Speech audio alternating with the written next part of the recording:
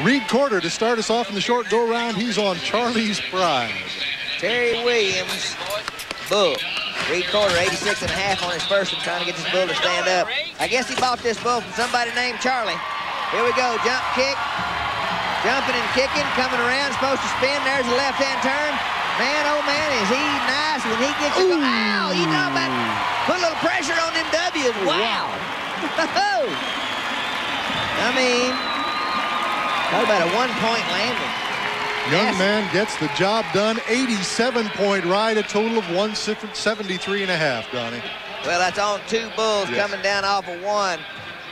NASA would be proud of this one-point landing here. But excellent bull ride. You want, you know, Reed has had his problems. Whoa! It's a good thing he's not very big. What's this?